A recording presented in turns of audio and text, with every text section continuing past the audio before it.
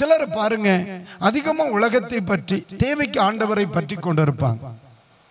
சிலருக்கு உலகத்தை மட்டும் பற்றி கொண்டிருப்பாங்க. ஆண்டவர் பேரில் பற்றுதலே இருக்காது ஆனா சிலரை பார்த்தீங்க அப்படின்னா எவற்றுக்கும் எல்லாவற்றுக்கும் ஆண்டவரை மட்டுமே பற்றி கொண்டிருப்பாங்க. இப்படி மூன்று விதமான பற்றுதல் இல்லாதவர்கள் பற்றுதல் குறைந்து காணப்படுகிறவர்கள் பற்றுதல் அதிகமாக இருக்கின்றவர்கள் அப்படிங்கிற ஒரு மூன்று கூட்டத்தாரை இன்னைக்கு சபைகளில் பார்க்க முடியும் நம்ம வீடுகளில் பார்க்க முடியும் நம்ம தேசத்திலும் பார்க்க முடியும். ஆனால் இறை பற்று ஆண்டவரின் மேல் பற்றுதலாய் இருப்பதின் அமீன் அவசியம் என்ன அல்லது பயன்பாடுகள் என்ன அப்படின்னு நம்ம படிக்கும் பொழுது நம்ம வாசித்த வசனம் அதாவது அறுபத்தி மூன்று அமை எட்டு வச வாசிக்கும் பொழுது வேதம் மிக தெளிவாய் சொல்லுகிறது என் ஆத்துமா உம்மை தொடர்ந்து பற்றி கொண்டிருக்கிறது என்று சொல்லிவிட்டு சொல்லுகிறார். உம்முடைய வலது கரம் என்னை தாங்குகிறது என்று சொல்லுகிறார். எந்த தனி மனிதர்கள் எந்த ஒரு தேவனுடைய பிள்ளை ஆண்டவரை உண்மையாக பற்றி கொண்டிருக்கின்றார்களோ அவர்கள் குடும்பங்களை தேவன் தாங்கிக் கொள்ளுவார்.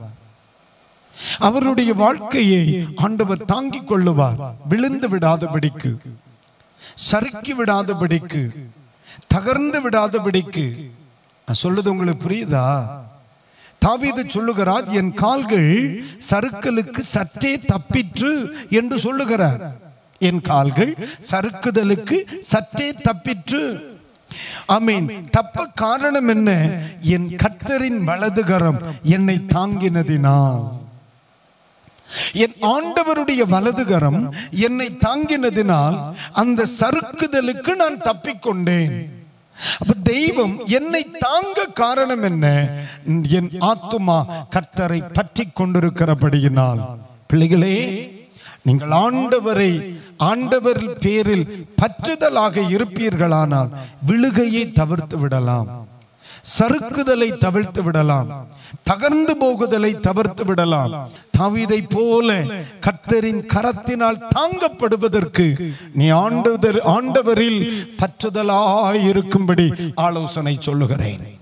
அலையிலூயா சிலர் சொல்லுவாங்க இல்ல இந்த சூழ்நிலையில என் குடும்பம் எப்படி நின்னுச்சுன்னே எனக்கு தெரியல பாஸ்டர்.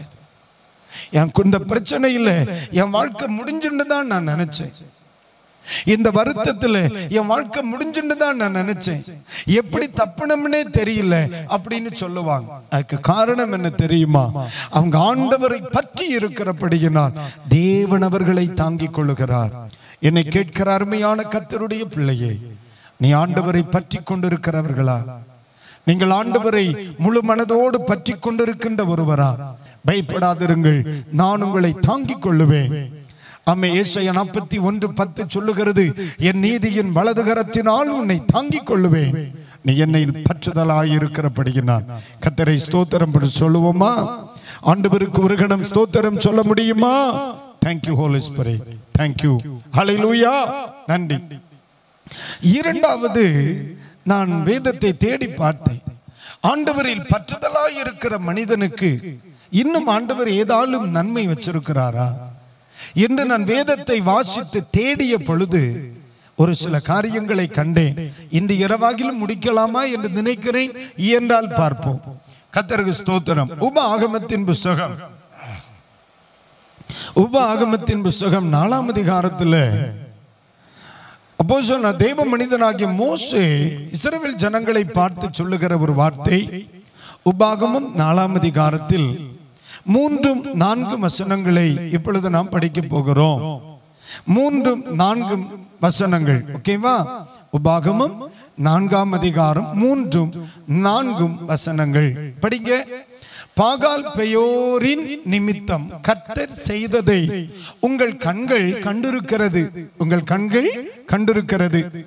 பாகால் பெயோரை பற்றி பின்பற்றின மனிதரை எல்லாம் உன் தேவனாகிய கர்த்தர் உன் நடுவில் இராதபடி அழித்து போட்டார்.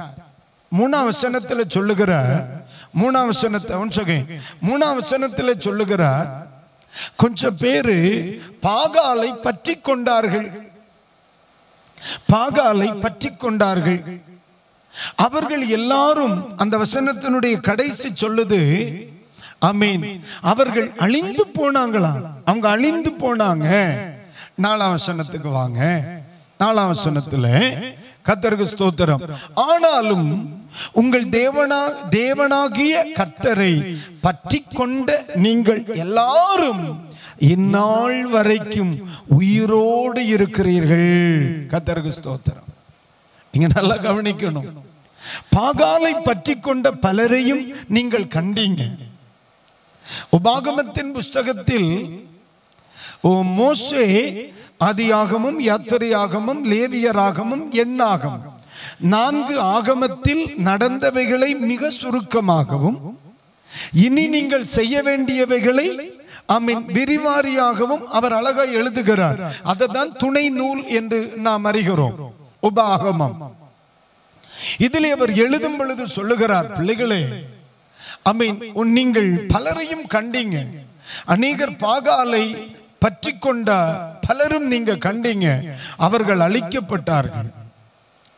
மனிதர்களை நம்பின பலரையும் நீங்க கண்டீங்க. அவர்கள் அழிக்கப்பட்டார்கள். சமுதாயத்தை நம்பின பலரையும் நீங்க பார்த்தீங்க.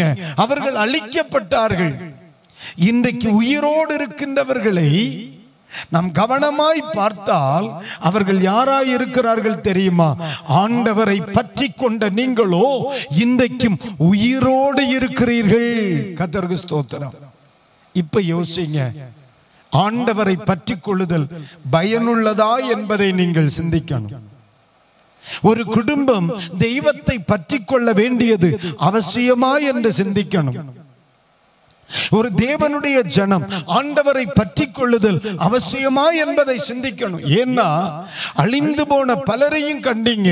உலகத்தையும் பணத்தையும் உலகத்தில் உள்ளவைகளையும் ஆமீன் பாகாலையும் பின்பற்றி அழிந்து போன பலரும் உன் கண்களுக்கு முன் உண்டு. ஆமீன் ஜீவனோடு இருந்த பலருடைய ஆமீன் புதைக்கப்பட்ட இடங்கள் கண்களுக்கு முன் இருக்கு. ஆனால் நீ ஆண்டவரை பற்றி கொண்ட ஒரே காரணத்தினால் இன்று வரையிலும் நீ உயிரோடு இருக்கிறாய். உயிரோடு இருக்கிறாய். அப்போ நாம் தெய்வத்தை பற்றி கொண்டால் நம்முடைய ஜீவன் பாதுகாக்கப்படுகிறது என்பதில் எந்த சந்தேகமும் இல்லை. நம்மை தேவன் உயிரோடு கூட வைக்கிறார். அல்லேலூயா சொல்லுங்க. அல்லேலூயா என்னை கேட்கிற தேவனுடைய பிள்ளையே ஆனால் தேவ மனிதனாகிய மோசே அமீன் இஸ்ரவேல் ஜனங்களுக்கு சொல்லும் பொழுது பாகாலை பற்றி கொண்டு பலரும் அழிந்து போனாங்க. உன் கண்ணுக்கு முன்னையே இது நடந்துச்சு. ஆனா நீ இன்று வரைக்கும் அழிந்து போகாம உயிரோட இருப்பதற்கு காரணம் என்ன தெரியுமா? நீ கத்தரை பற்றி கொண்டதினாலே.